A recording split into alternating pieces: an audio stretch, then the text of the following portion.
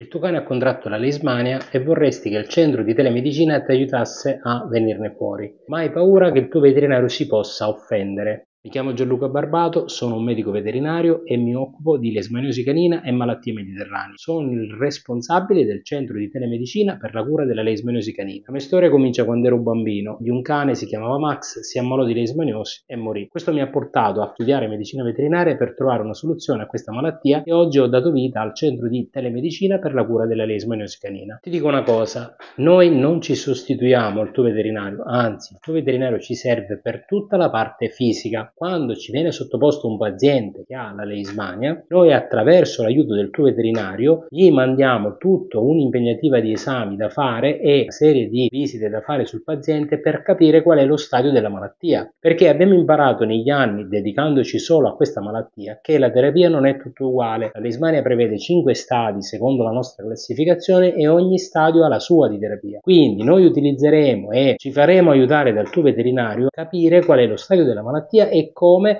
possiamo venirne fuori. Quindi noi faremo un sodalizio tra noi e il tuo veterinario. Se vuoi rimanere aggiornato su tutte le novità in ambito di terapia e prevenzione della leishmaniosi canina, ti invito a iscriverti al canale YouTube. Invece se vuoi subito aiuto per il tuo cane, ti invito a cliccare il link in descrizione dove ti spiegheremo come possiamo aiutarti.